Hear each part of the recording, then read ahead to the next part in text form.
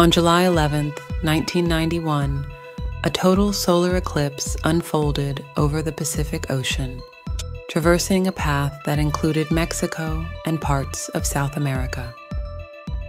This astronomical event, while remarkable in its own right, was soon overshadowed by an even more extraordinary occurrence in Mexico City and its surroundings.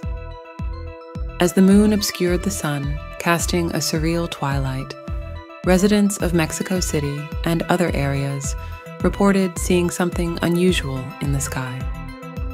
What was initially thought to be a small, bright object soon captured the collective attention of hundreds of eyewitnesses.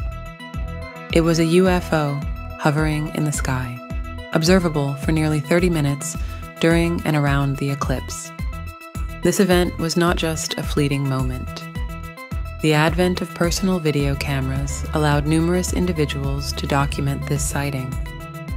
Videos captured from various locations showed the same phenomenon a silvery disc shaped object positioned conspicuously beneath the sun. The consistency of these recordings made this one of the most documented UFO sightings in history.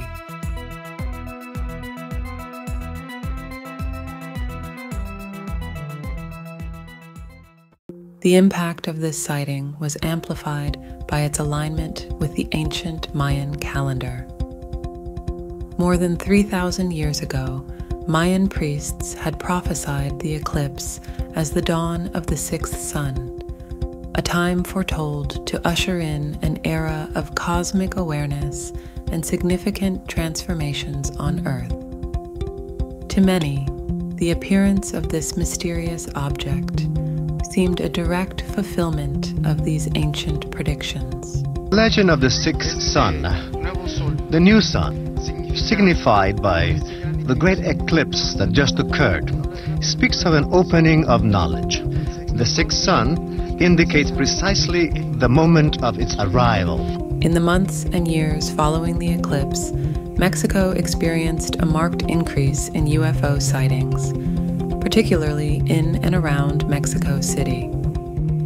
These subsequent sightings included various encounters during military air shows and frequent reports of unexplained objects in the sky.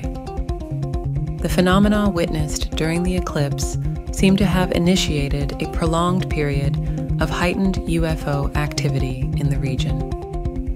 The events of July 11, 1991, thus stand as a landmark in UFO history.